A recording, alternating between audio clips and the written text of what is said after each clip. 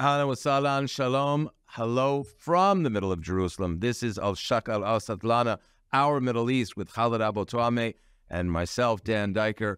We are here to turn the Middle East inside out and give you the behind the scenes view. And today, kidnapping defeat from the jaws of victory. Israel, jihad, Gaza, and fighting Hamas with over 100 hostages in captivity. Join us.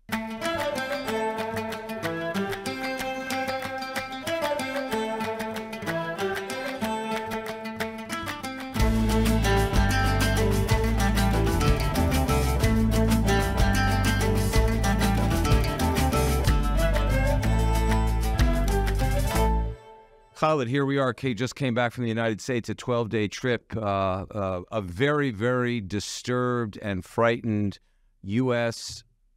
audiences. We spoke in Florida, we spoke in New York. Uh, people are very concerned about the outbreak and the, um, I would say, the tidal wave of violence, anti Semitism rolling along in America's major cities.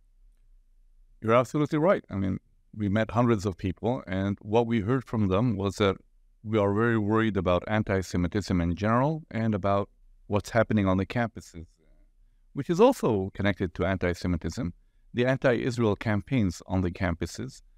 And, uh, you know, they raised it with us wherever we went. They're trying to find out where, where, where does it come from? And what we told them is very important. Where were you all these years?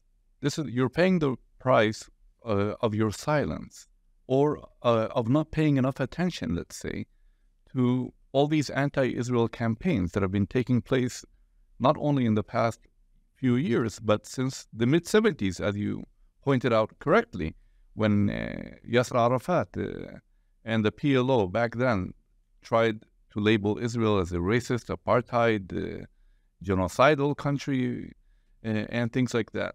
So, first of all, there's good news that, you know, American Jews are finally waking up and looking around and feeling the heat and uh, seeing what's really happening, uh, seeing the threat of anti Semitism and seeing that these dangerous campaigns on the campuses are not only against Israel, but against Jews.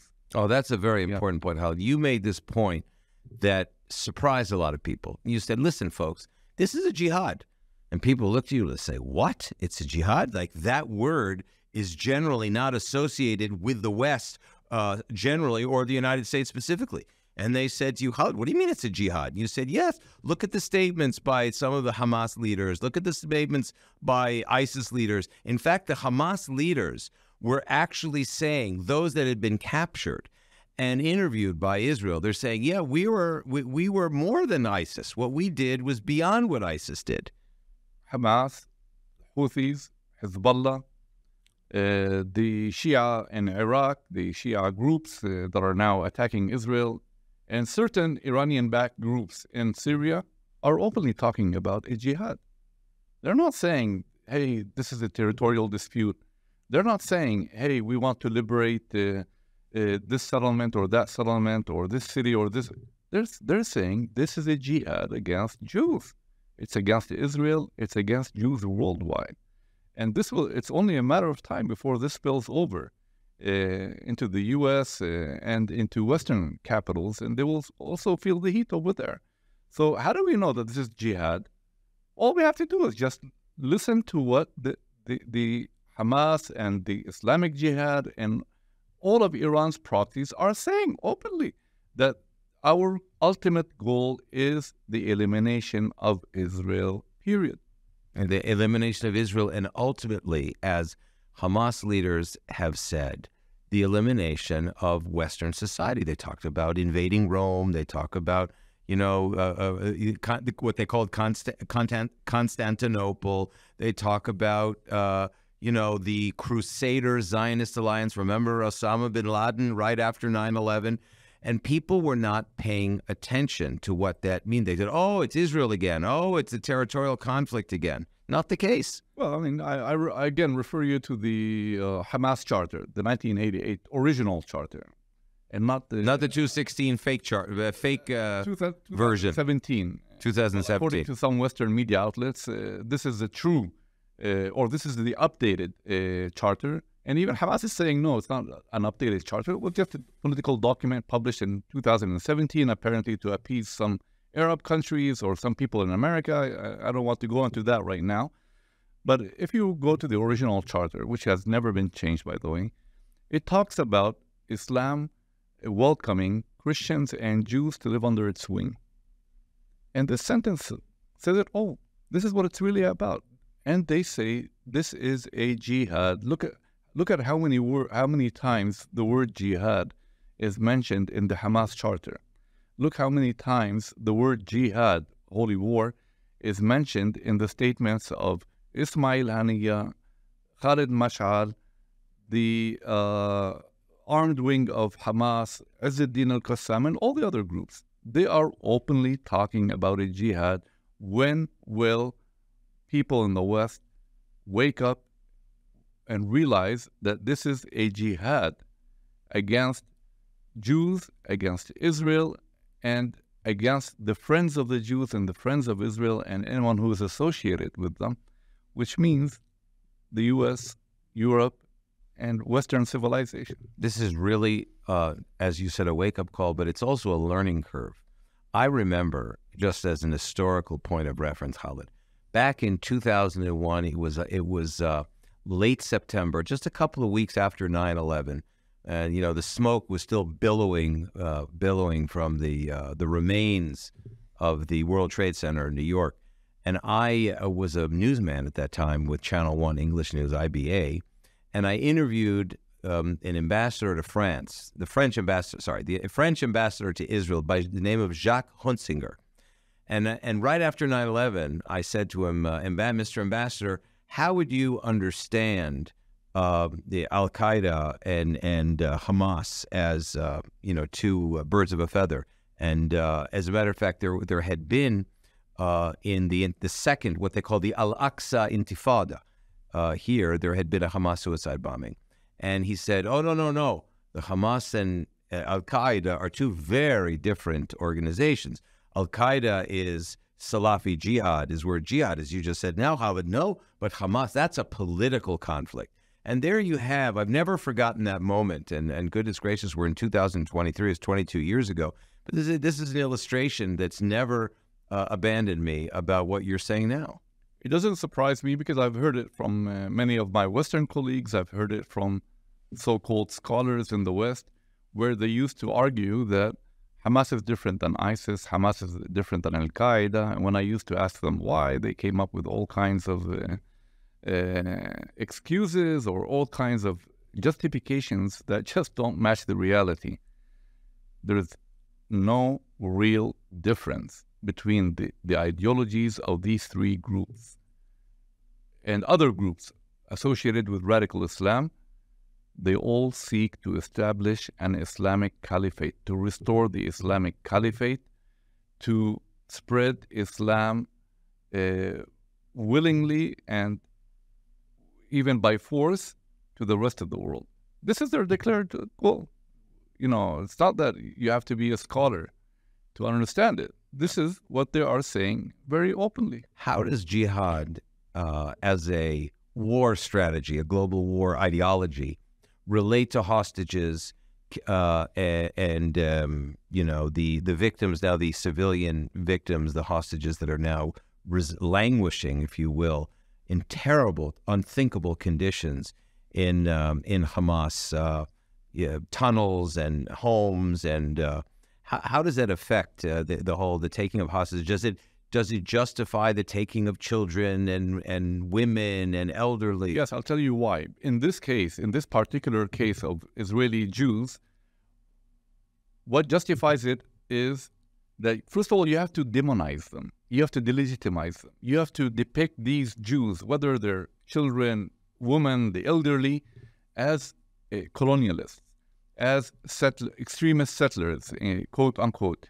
uh, as uh, thugs, as a group of people that does not belong here. and then jihad applies to them. This is what you do. These are infidels. These are usurpers of the land. These are non Muslims occupying Muslim land. And this is where jihad applies to them. And that's why the kidnapping itself is part of the jihad. You're kidnap. You're not kidnapping Muslims, although they did, by the way. Mm, few they did. uh, but in this case, you're kidnapping people who have been de- demonized, uh, people who have been delegitimized, people who have been depicted as aggressors, as strangers, foreigners to the land. So they've been in a way dehumanized. There's no- exactly, exactly, and that's what justifies, in their eyes, the whole concept of jihad. Now, so here we have a very serious situation of 130, some 130 hostages, including uh, 19 women, still 19 women. There's some children and toddlers, elderly. Um, how, I, I know that the Emir of Qatar spoke uh, last night with uh, w- with the, uh, President Biden. It's probably the tenth uh, phone conversation between the two in, in the past 82 days. In, and in, in the past 82 days, you and I have had this conversation that goes something like this. How could it be that the president of the free world, who has a lot of leverage, it appears, on the Qataris, uh, major uh, military installations in Qatar, doesn't have the type of leverage to say to him, listen, tell the Hamas that they've got 24 hours to come up uh, to to free all the hostage. Otherwise, uh, or and uh, uh, you know, and and you better deport the Hamas people. Otherwise, we're going to end our relationship with you. We're going to pull out our military and and worse. Well, uh, apparently the U.S. president is not employing enough pressure. Uh, he's not setting a, a deadline. I mean, you know, the, you could also ask the same question in another way. How come an Arab dictator who is hosting the leaders of Hamas does not have the power or the leverage to, uh, you know, to influence them? Do you want to tell me that the Emir of Qatar cannot summon to his office uh, Ismail Haniya, Khalid Mash'al, and the rest of the Hamas leaders and tell them, folks, listen, if you don't release all the hostages within 24 hours, you're out of Qatar. What's so hard about that? Good question. Maybe the Emir of Qatar does not really feel that there's enough pressure on him. Uh, there's a way of approaching these, uh, you know, Arab dictators. If you're going to be nice to them and polite and talk to them, and Yeah, they won't move. they won't move. But if you tell them, uh, listen, if you don't do it, I'm going to cut off my diplomatic ties with you. I will uh, remove U.S. aid uh, or st- uh, suspend U.S. aid to Qatar, or I will uh, close down the U.S. Military base in Qatar. Then you know the Qataris will think twice. But there is a feeling that there isn't enough pressure on the Arab leaders. Do you really want to tell me that President Sisi, who invited Ismail Haniya two weeks ago to Cairo, but- or last week to Cairo, he can't call, bring Ismail Haniya and tell him, listen, 48 hours, I want this to end. Uh, if you really want to spare the lives of people in Gaza, release the hostages now. Uh, but the feeling again is that you know the Arab leaders are not really involved in this. They're not employing enough pressure on Hamas. The feeling is that Hamas is not under enough pressure, and that's why they're not going to, uh, you know, to release uh, any prisoner Ironically, or any hostage. Sorry. absolutely, and ironically, the Egyptians have outlawed the Muslim Brotherhood, which means that Hamas, by extension, which is the Palestinian branch of the Muslim Brotherhood, is is is outlawed in Egypt, and and by by President Al Sisi, who's a military man and uh, you know a serious been a serious president, he looks weak in the eyes of Hamas. I mean, the Arab leaders look weak in the eyes of Hamas, and I it was suggested to me yesterday by Rami Igra, who was a former Mossad division head of the uh, hostages and disappeared persons, that today uh, Yahya Sinwar is is seen on the Arab street as the strongest jihadi, uh, Salafi uh, person in, person of this generation. I totally agree with you, and I follow what's happening on the Arab social media websites. I see what's happening uh, on the Arab street. Uh, and again, you know, Yahya Sinwar is being glorified as a hero, as uh, someone, uh, as a great Arab Muslim warrior who managed to surprise Israel, who managed to humiliate Israel, who uh, carried out his threat to launch a jihad against Israel. uh, who is inflicting heavy pain on Israel, who whose forces are killing Israelis every day. And that's why it's very important for the Arab leaders, if they want to save them, their regimes also, to stand up against Hamas. But, if you don't, then you are actually, uh, uh, you know, an accomplice in this. You are actually uh, allowing the Arab street to continue with its with its support for Hamas and for the Hamas leaders, and it will finally come back to you, the Arab dictator. Uh, we're told a lot that oh, Arab dictators uh, are opposed, or the Arab leaders are opposed to what Hamas did. Uh, they condemn it, but where, where, are their voices? How come they're not speaking out? Uh, they need to speak out. Can you imagine if Hamas had attacked one of these Arab countries?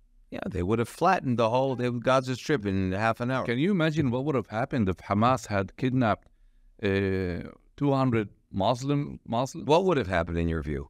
You know, uh, I mean, look what happens in Syria. Look what happens in Yemen. Look what happened uh, in Iraq. Uh, the the response would have been ten times, you know, stronger than Israel's current response uh, to what happened, uh, and that's why the hostages are not coming back because the feeling is that there isn't enough pressure. I'm not talking about military pressure on Hamas. I think military pressure on Hamas in Gaza is, uh, is great. It's big. It's huge. But what about the the pressure on the political leaders? You don't feel that there is no, any, any kind of pressure, not coming from uh, the Arab, not Saudi Arabia, not Saudi Arabia, not even from the Arab media. You hardly see. Why, why do you think that is? You think they're afraid? Because they're afraid of the Arab masses. You see, Hamas is now very popular in the Arab world, and Hamas are heroes, and Hamas are, you know, they liberated or they managed to infiltrate Israel. They humiliated Israel, as I mentioned. And that's why the Arab leaders are always afraid of the Arab street. Arab leaders are also responsible for the fact that the Arab street has been radicalized against Israel. Why? Because Arab leaders incite their people against Israel almost on a daily basis. Mm. And it, you know, it's a vicious cycle. You incite your people against Israel to a point where you can no longer even say a good word about Israel. We're seeing that also in the West. Uh, and during our trip there, we saw more and more uh, evidence that on the social networks, as well as in some of the neighborhoods, even in the middle of the Upper West Side of Manhattan, people are accusing us, the Jews, of lying about October 7th, of making up the massacres, of, uh, you know, of, of completely fabricating the rapes. And that itself became its own anti Semitic trope. But that was really a shock that the whole legitimacy of I, not only eyewitness accounts, but Hamas GoPro cameras were the ones documenting it, and they they were uh, uh they were accusing the Jews of creating a whole conspiracy uh, around the around the atrocities of October seventh. You're absolutely right. And I see this also on social media. And I'm not referring only to Arab social media networks, by the way, and accounts. You see that it's infiltrating into uh, almost mainstream uh, media in the West. I talk to many of my Western colleagues, by the way, and I can tell you that some of them ask me quietly, uh, are you sure, Khaled, there were, there were you know massacres? Are you sure there were rapes? Are you sure that uh, you know babies were beheaded? Babies, yeah. And when you tell them, well, yes, you know, we there's evidence, they think, oh, come on, you know, you really believe that? So we, I mean, we, we have moved from the stage of uh, trying to underestimate what happened what happened on October 7th completely denying it mm. and even putting the blame on Israel. Yeah, that's very, very serious because it, it not only is not just a denial, but it really is a further delegitimization of, of, of the of the victim. It's actually absolutely it's actually part of the massive campaign to delegitimize Israel, demonize Jews, and this is what is promoting anti-Semitism. First of all, you you accuse the victims. Uh, then you know you uh, you you say that the victims are or those who support the victims uh, are actually making things up. It's it's it's it's actually crazy. It's insane that this is happening. Yeah, it, it's insane. It's scary because the the literature has this type of uh, has the, these types of strategies. I know that. Uh, and note that you hardly see anyone questioning Hamas's uh, Right, ver- that's right. versions or the PLO versions, or it's usually Israel that is called into, Yeah. you know, They've been. You see this in the mainstream media, Khaled. As a media man, you know this. They're accepting the Hamas Gaza Ministry of Health numbers as uh, as God's word. Well, you see, for example, that some me- media outlets in the U.S., mainstream media outlets, uh, whenever or each time that Israel carries out some kind of a controversial attack uh, or operation, that these media outlets launch their own investigations Yeah. into these events. Uh, wh- when was the last time you saw them launch an investigation against Hamas atrocities in Gaza? When was the last time you saw these media outlets launch uh, an investigation against PLO corruption? Why is Israel being singled out? Good question. I mean, I don't know what beyond anti-Semitism what to say. I mean, there's the victim victor, there's the oppressed oppre- there's the oppressed oppressor, the weak strong. That's how I can understand that the the media the- in, in the Western discourse anyway likes to frame things in terms of who's weak and who, who's the, the the weak guy is always right, the strong guy is always wrong. Yeah, unfortunately, that that is the case. Yeah. So let's go back to the hostages for a second. It, it, if you had asked me 82 days ago whether in 80 days the hostages will, will still be there, I said I doubt it. I, I would I would have bet that they would have been returned. But here you have this long slog in Gaza because of the biggest underground terror tunnel network in the world. There's no larger terror metro in the world. Billions and billions of European, American, and Israeli tax dollars went to the Palestinian Authority. The Palestinian Authority transferred it to Gaza, to the Palestinian Authority uh, um, employees in Gaza, and the Hamas, of course, is in control. I mean, I think there are two reasons why the hostages haven't been released so far. One is the slow pace of the Israeli military operation. First of all, don't forget also that the operation started uh, nearly 10 days after the kidnapping. Yeah, Uh, yeah, So Hamas had a lot of time to uh, move them around, to hide them in in tunnels and apartments. So that's number one, the slow pace of the uh, Israeli military operation.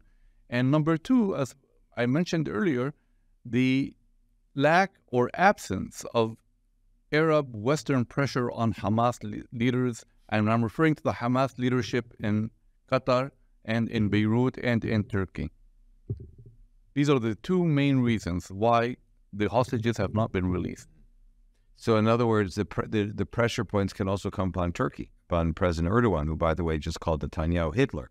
And here's a NATO, he's a NATO member. It's like these things just are not making sense, right? You know, we saw the Arab uh, leaders hold a summit a few weeks ago. And instead of, you know, putting pressure on Hamas to release the hostages and end the conflict and end the suffering of the Palestinians in Gaza, they came out with statements condemning Israel. That doesn't help the Palestinians. According to Hamas, more than 20,000 Palestinians have been killed so far. And many people, many Palestinians, by the way, are beginning to question the uh, the price. They're saying, I mean, what's going on over here? Why why are we still holding? Why is Hamas still holding 120 Israelis? Uh, is it really worth the price? I mean, 20, more than 20,000 people killed in, in Gaza, according to Hamas. Uh, so you, you see, you know, people beginning to ask questions. Yeah, you see also a lot of the humanitarian aid that Israel has agreed to ship into Gaza is right away pilfered by the Hamas operatives and, and taken into the tunnels for the Hamas and to other places of storage. And Hamas does not care about the Palestinians. Hamas cares about Hamas. Mm-hmm. Hamas is fighting for its survival. Ham- the name of the game now is how will Hamas remain in power? How will Yahya Sinwar, Muhammad Deif, and Marwan Issa continue to lead Hamas in Gaza? That's all what Hamas cares. how do you, how do you see that unfolding now? I mean, the, the assessments are that Sinwar is in a tunnel. He's got a very sophisticated personal tunnel escape route. How do you see Sinwar as staying remaining relevant? Look, as long as you know, uh, it- or I would say something like this: it all depends on how the Israeli military operation uh, develops and continues. Whether if it if you step up the pressure, uh, then you know they will either have to surrender or die. Uh, I don't see this continuing or lasting forever. That's why everything depends on what the IDF does in Gaza right now. But I can tell you my personal opinion. Yeah. As someone who knows these people very well, they're not going to surrender. No. If you think that Yahya Sinwar is going to come out of his uh, tunnel with his hands raised in, in his underwear, that's not going to happen. These people would prefer to die than to be, uh, than to go down into history as the people who surrendered as cowards. So it's either they will die or they will be captured by Israel. There's no, I don't see a third, uh, uh, a, a third option. They're saying we want to become martyrs. Are there? Do you see Israel using any Arabic language um, disinformation or information operations, loudspeakers, leaflets, um, any other kinds of communication vehicles to explain to the uh, Gazans what they actually did and why Israel's there, and uh, you know to try to get them onto Israel's side? Well, the IDF has an uh, Arabic uh, spokesman, Arabic language spokesman, Avichay Adraee. He addresses, he talks to the Palestinian uh, public in Gaza directly. You also have communication between COGAT, the coordinator of government activities. Uh, uh, you know, they have a good website and they also address the Palestinians. And don't forget that many Palestinians, even in Gaza, by the way, are on social media and they are exposed also to not only to the Hamas uh, narrative, but they also hear the other side. The, problem in Gaza is that people are still afraid. They're still afraid of standing up, uh, standing up against Hamas because they don't know. They they're, they're still not sure that Hamas is going to be destroyed. The, some of them fear that after the war, you will still have Hamas over there. So people are being very careful. That's uh, it's really uh, an extraordinary insight into the Arab political culture. It's so different, very, very different from the West. Since we're talking about insights, Yeah. uh, I mean, uh, you know, I, I, uh, someone who spends ninety percent of his time following Palestinian uh, websites and uh, listening to what Hamas is saying and hearing Arab uh, military analysts, uh, you know, you get the impression that Israel has been defeated. You get the impression that tens of thousands of Israeli soldiers have been killed. That's because Sinwar is saying it. It's not only Sinwar. It's not only Sinwar. You get the impression that hundreds of Israeli tanks have been destroyed, and you know we're talking about a different world, uh, uh. And this is the you know you look at it and you don't know whether to laugh or to cry, but it's tragic because people are paying with their lives. Many people are being killed every day. Uh, they are selling illusions to the people that we're defeating the Israeli army and it's only a matter of time. And if you just be a bit more patient, we will also destroy Israel. And look at the Israeli army retreating. Yeah, I mean, there are so many stories you see over there misinformation, disinformation, fake news that is giving the people in the Arab world the false impression that Israel is much weaker than you thought, that Israel is act, that the Israeli army is actually losing every day dozens, if not hundreds, of soldiers, and that you know it's a, it's a different world. Do do you think uh, that in the day after we I think have to have a dedicated show to the day after to talk about what the options are because as we discussed at the Jerusalem Center for Public Affairs today and we've discussed before the idea of having what President Biden calls a revitalized, re-energized Palestinian Authority you say that to people in the Palestinian areas they just laugh at you. Yeah, the same way as I smile. Uh, look, uh, listen very carefully to what the Palestinian Authority is saying and what Hamas is saying. They're saying, without our blessing, there will be no administration in Gaza. Now, this is not only a statement, this is a threat, a warning to any Palestinian who will dare come to rule Gaza mm-hmm. through the Americans and through the Israelis. If the Americans really want to help create, you know, a better administration in Gaza, they need to make sure at least that the Palestinian Authority does not stand in its way. The Palestinian Authority's main goal right now is to foil any attempt by the Americans to create an alternative leadership or to bypass President Mahmoud Abbas, as they are saying. Mm. A few days ago, Abbas Abu Mazen convened an urgent emergency meeting of the PLO Executive Committee in Ramallah, following reports that the Americans are trying to replace him. The Americans are trying to sideline him. The Americans are trying to find uh, or establish a technocratic government, which means a government of independent figures in Gaza. And what was the statement that came out of that meeting? The PLO is the sole legitimate representative of the Palestinian people. We won't allow anyone else to tamper with this reality. In other words, you won't be able to do anything without my blessing. Mm-hmm. So, if you really want that to, uh, if you want the plan uh, to rule Gaza in the post-war era, you need to make sure that there are no threats. But th- there are the threats are coming already. They're coming already, and uh, we're going to have to take a hard look at them because it really requires a deep, deep, uh, say, deep dive into post-war Gaza. Very complicated. Israel doesn't want to deal with it right now. We, the Jerusalem Center, actually have a draft plan. It uh, it is uh, much more sensitive to the way the Middle East is set up. Americans are absolutely convinced that the Palestinian Authority, who, by the way, can't even uh, uh, govern their own spaces in Gaza, in uh, the, in Judea and Samaria, the West Bank, are going to come back and govern the Gazans, uh, who actually threw them out back in 2007. Not only threw them out, they threw them off roofs. And if they go back under the current circumstances, the Gazans will eat them for breakfast. Eat because it's following Israel. Uh, that's one reason. The other reason, the corruption, Abu Mazen. Corruption. They will also tell them where were you now, you know, what did you do in the West Bank? Did you send, where are the Palestinian security forces and why are you conducting security coordination with Israel? Uh, countless, endless uh, complaints to the to a point where I think the Palestinian Authority would rather stay maintain the status quo. Yeah, they, they don't even want to come. As a matter of fact, that's why Mahmoud Abbas canceled his participation in the Jordan. There was an Amman conference on uh, the future of the Middle East that they canceled. They didn't want to be put in that position of having to say, sure, we'll come back and uh, govern Gaza. Well, you and I are going to have to continue talking about this. Khaled Abu Toameh my colleague, friend, and guest host here on Al Shakal Al Satlana, Our Middle East. That was a very compelling uh, discussion about state of play in uh, jihadi run Gaza Strip, Israel, hostages, and a very, very complex uh, state of affairs. So Thank you very much, everyone, for watching. Thank you, Khaled. Look forward to having our next conversation next week.